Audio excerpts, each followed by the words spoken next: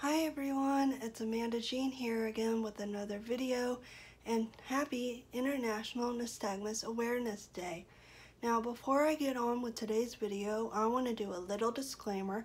I am going to mention a charity during this vlog and I want everyone to know I am not affiliated with the charity in any way.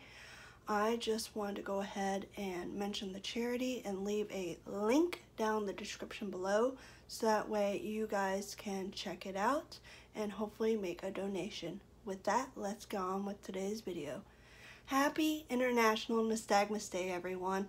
As you can see, I am rocking out my Nystagmus Network bracelets, which is, for those of you who don't know, Nystagmus is a eye condition which affects me and many other people.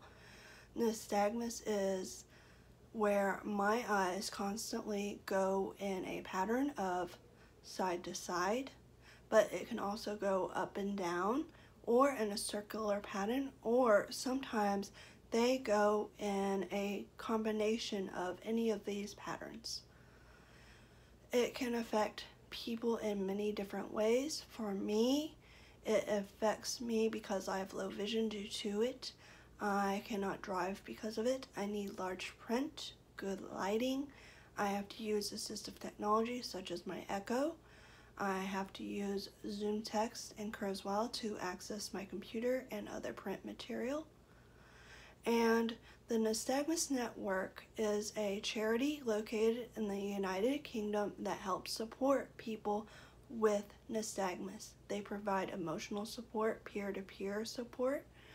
They also do research to improve the quality of life for those affected by nystagmus, and they also hope to one day find a cure. Please be sure to check out the link down below for this wonderful charity, and if you want to please consider making a donation. Nystagmus Awareness Day is a day of hope for me because that means I can tell others about the condition. With more people understanding the condition, the more awareness this is. This is one of the reasons why I blog, why I do YouTube, and why I am working on a project for the parents. I really enjoy being part of the nystagmus community and I enjoy the fact that I have friends all over the world who have this condition and that I'm not alone.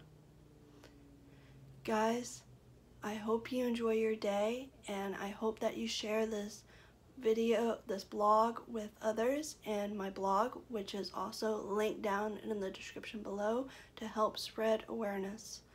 Also, again, please make sure to check out the Nystagmus Network charity for more information.